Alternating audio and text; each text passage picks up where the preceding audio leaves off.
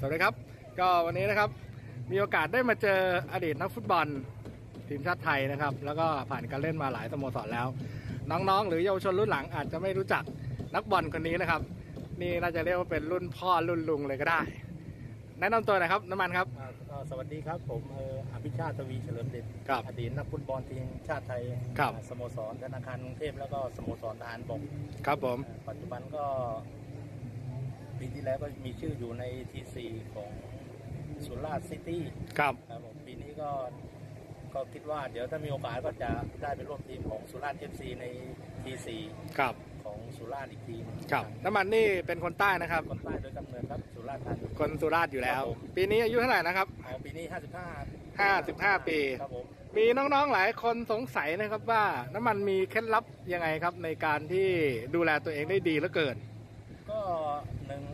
ฝึกซ้อมฝึกซ้อมเป็นเต็มที่ ครับ อาหารการกินครับ ดูแลตัวเองไม่ไม่กินไม่ไม่เที่ยวไม่ดื่มครับ ก็ดูแลสุขภาพนอนนอนได้เป็นเวลากินได้เป็นเวลาอืม ก็มีโอกาสก็เข้าฟิตเนสครับ ครับตอนนี้ถ้าเกิดว่าจะให้ลงสนาม 90 นาทีนี่ยังสบาย90ยังไม่แน่90 ยังไม่แน่ ครับผมแต่ว่าสักแต่ก็ยังได้ยังเล่นได้ได้สักกี่นาทีครับ ก็60 60นาทียังออกสตาร์ทจากนาทีที่1ถึงนาทีที่ 60 นี่สบายแน่นอน สบายครับผม อืม ตอนนี้เรื่องสุขภาพก็แข็งแรงสมบูรณ์ ปกติไม่มีเจ็บป่วยไม่มีอะไรทั้งสิ้น และหน้าที่การงานตอนนี้ทำอะไรอยู่ครับน้าน้ามันครับ เปิดขายเสื้อผ้ากีฬาอยู่ที่สุราษฎร์ครับ ชื่อร้านอะไรครับ ร้านคอบอลครับ คอบอลครับผม ตั้งอยู่ตรงไหนครับ อยู่ทางไปสนามกีฬาสุราษฎร์ธานีอืมเป็นตึกแถวอาคารพาณิชย์ แถวอาคารพาณิชย์ครับผมกี่คูหาครับเอ่อหนึ่งคู่หาครับ หนึ่งคูหา ปกติแล้วก็จะอยู่ที่นู่นดูแลเองหรือเปล่าครับ ก็ส่วนมากจะเป็นเอ่อ ภรรยาเขาดูแลอยู่อืมส่วนตัวผมเองก็จะเดินสายครับเล่นฟุตบอลตลอดถ้าคนสุราษฎร์นี่รู้จักแน่นอนร้านคอบอลของน้ำมันนี่ ขายของไม่แพงครับผมมีช่องทางอะไรติดต่อจะฝากถึงแฟนบอลไหมครับเผื่อใครแวะไปสุราษฎร์แล้วอาจจะแวะไป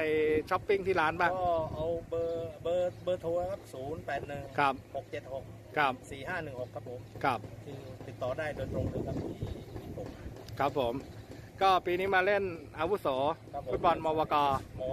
อ่าเล่นได้ทีมทานทองทานทองอ่าก็ได้อันดับสี่ไปครอง สี่ครับผมครับผมก็โอเคครับถือว่ายังไงก็ผ่านก็มาถึงรอบรองชนะเลิศได้